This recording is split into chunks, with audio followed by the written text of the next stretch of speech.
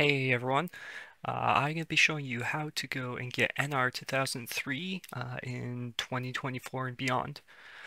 Uh, as you can probably tell, this is a game that came out in like 2003, so it's 20 plus years old at this point, so it's going to be a little bit different on installing it than it was 20 years ago, so I'm going to give you the modern day way of installing it here. Uh, first thing you're going to do is open up the download folder here by extracting it. You may need to go and grab WinRAR for it. Uh, I personally use WinRAR, so I already have it all ready. I'll have a link in the description if you want to go get WinRAR there. Uh, but you'll go and get that, and once you've extracted it, we're going to go through the folders, and we're going to pick the step one folder. Same thing here, we're going to go and extract the NR2003 game here, which will now give us this folder. And we're going to go in here. It's going to have a bunch of different things in this folder, but what we're going to be looking for is the setup. Uh, it's an application. Uh, make sure you're grabbing that one, not the configuration, but the actual application. And we're going to open that up and run it.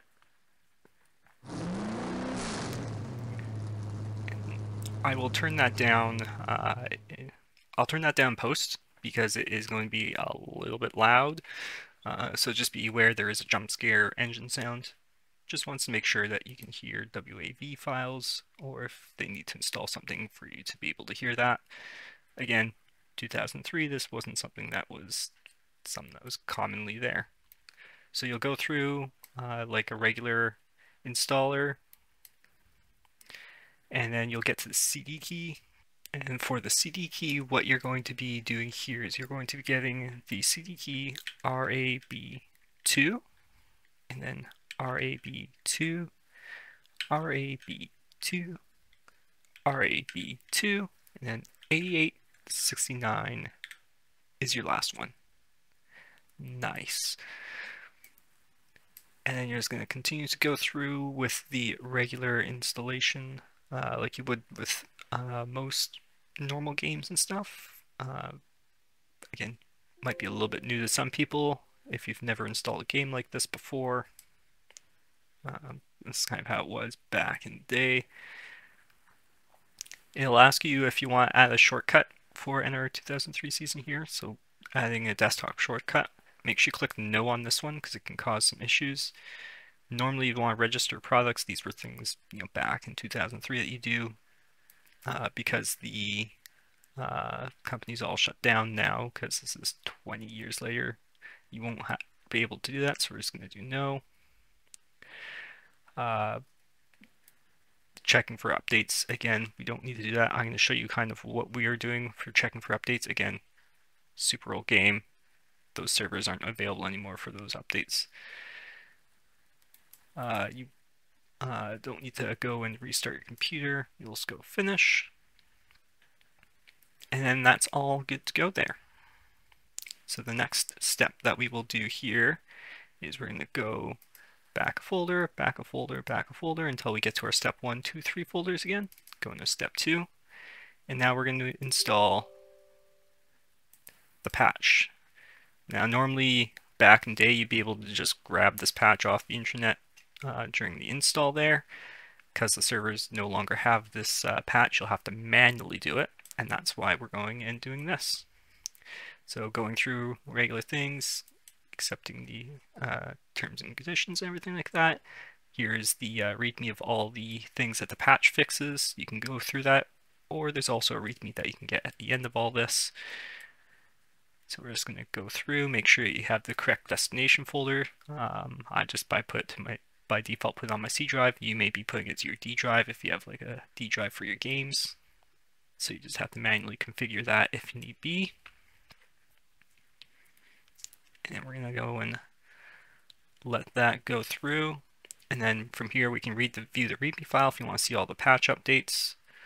We're just going to continue on. And then step two is now complete. So now if we go back a folder into our step three folder, this is the no CD patch. Back in like 2003, most computers had a CD uh, drive where you could put CDs in. modern day computers generally don't have that. So that's what this patch fixes is this is kind of the patch for the modern day computers. So we're going to go and do all of that and then when you go through you're going to have a original and a patch folder. Uh, so what I will usually do here is I will uh, open up a another folder here. So uh, let's just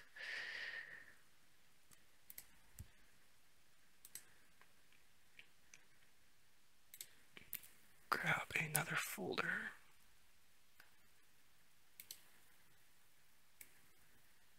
There. Popping up on my other screen here. So we're going to go in and find our Papyrus folder, which is where we installed it. There's our NR 2003. And then what I always do for this one is I will just go find the NR 2003 application right here. We're going to right click and we're just going to go and cut that. Let's shrink this down so we can go over here.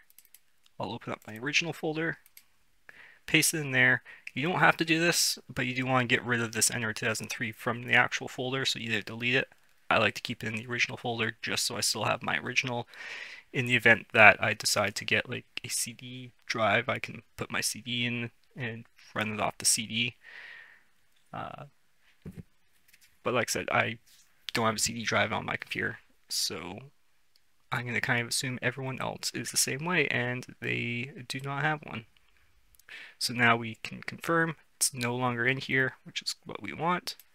We're going to go back a folder, so we have the original patch. We're going to go into the patch.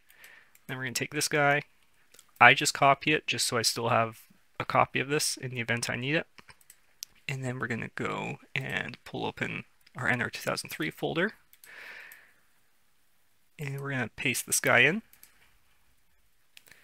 And then you should see it in here. And then from there, you should just be able to click on it.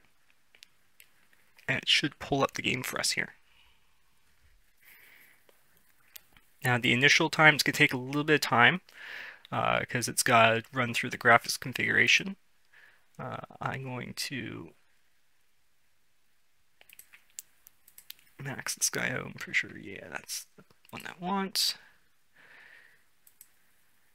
Make sure I have graphics card selected and DirectX.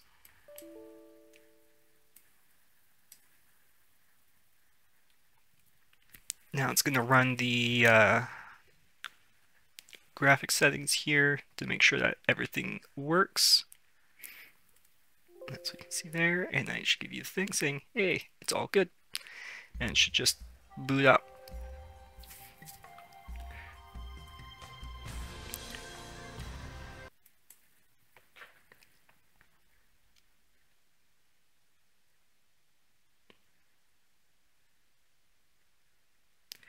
Now it's going to want you to calibrate your controller.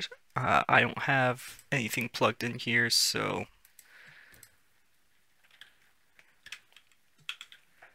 I'm just going to be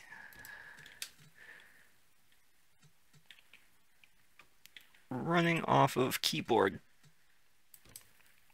Now, uh, a few things here. Uh, if it crashes when you click drive there, or when you click to go into here, or when you click drive like this. One of the problems that that can sometimes be is you didn't go in the correct order. Uh, you did step 3 instead of the step 2 folder first. Uh, so make sure you've done that all correctly. And I'll see how good I can do on keyboard here.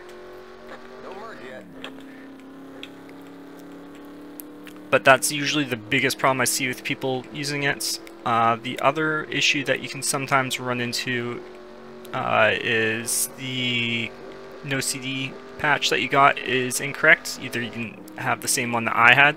Uh, I can show you though how to tell if you have the correct one or not. So we're going to go and back out of this here like I said, if you're ever having the game crash when you first get into the game, or if you uh, like when you first run the application, you get past that first little kind of cinematic cutscene there. Or when you hit drive, uh, this is usually what the error is. Uh, so if you go in here and go properties, the size of this one should be 3.63 megabytes. So if you are seeing something different than this, uh, it's using like a older no CD patch, uh, which will sometimes crash it, or you have not updated to the correct uh, update that I have there. Uh, and it might be like the no CD patch for a later version of the uh, updates. So that's the big thing to look at there. Um, if you're getting crashing issues, double check to make sure this is the size of your new CD patch uh, file because uh, there's quite a few of them floating around for different versions um, and this is the version that we're using here. Uh, and with that you should have a working game. It works online and stuff so uh, you'll have to have an IP address uh, to the server that you're connecting with. Uh, so if you're playing with friends like you have to open up ports and all that. Uh, that can be covered in another video. But what I would suggest taking a look at for the next video, uh, just up on the corner here, is how to improve the graphics so you can make them go from being super blurry to crystal clear.